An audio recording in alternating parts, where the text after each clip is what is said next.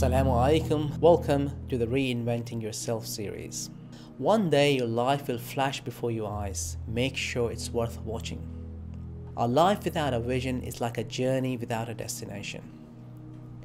Imagine a comfortable journey with a beautiful scenic views, but it takes you to an undesired destination.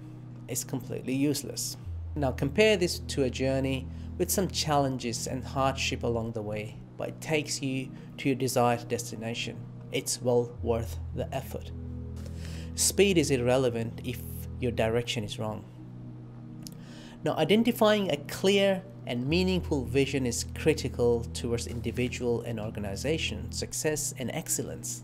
A life without a clear vision is a life without a direction, a life full of confusion and contradiction.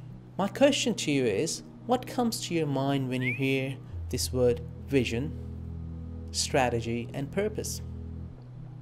Now, it is very important to have a common language so we don't get confused when these terms are used. The term vision had been tossed around by so many people and been used in so many different ways that it has caused more confusion than clarification.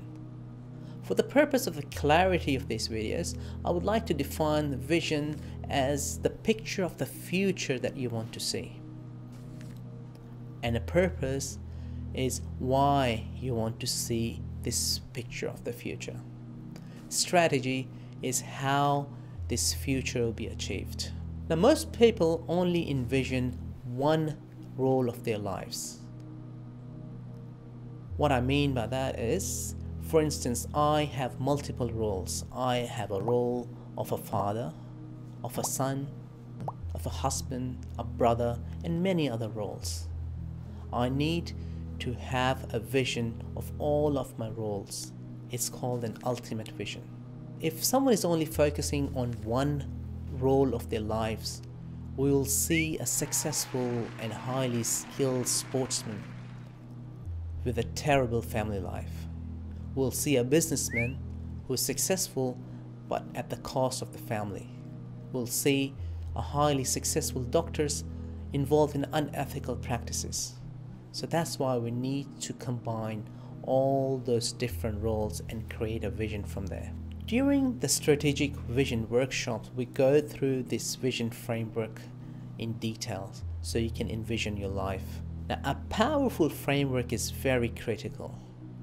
With a proper and powerful framework, average people can achieve the same results with consistency. Now look around you and look at the companies with a great framework and the companies with a poor framework. You will see examples around you. Companies like Toyota, GE, 3M, they all have superior frameworks, hence they're thriving. Now when it comes to the vision, you will find three type of people. The first type is the one who do not make any plans. They do not use any resources around them. They do not make any strategies. Those people are in ignorance in Jahala. And you will have a second type of people, the one who make plans and visions, but they rely on the resources, on the asbab. It's shirk. And you will find the third type of people who create their visions, make their plans and strategies, and rely on Allah subhanahu wa ta'ala. This is tawakkul.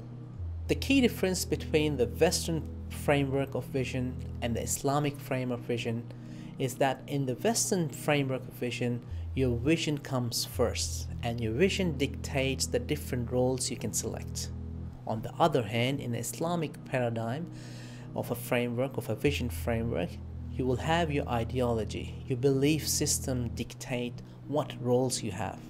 And then you will come up with the vision of all of the roles in your life to go through the vision building process, your ideology and your belief system will give you a purpose, a purpose of life. Why do you exist? From there, you'll come up with the purpose of your vision, why you want to create a vision. And then you will go defining a vision from there. We go through these steps in details in our strategic vision workshops. Stay tuned for more episodes.